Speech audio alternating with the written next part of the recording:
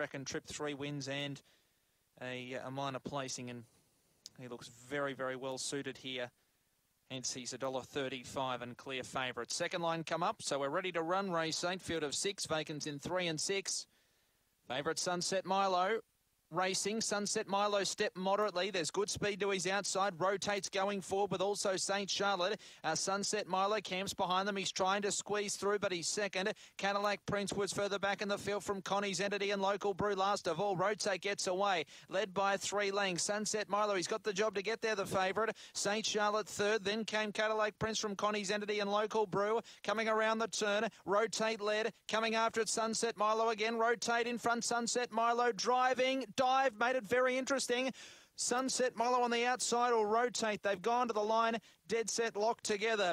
Uh, St. Charlotte prominent for third, then Cadillac Prince, followed by Connie's Entity and Local Brew was last time around 29 and 9. Well, to the naked eye, maybe, maybe a small margin for the favourite, but it is very close. So this is close. The number one will get it. Number one, Sunset Milo's won it for Dave Peckham.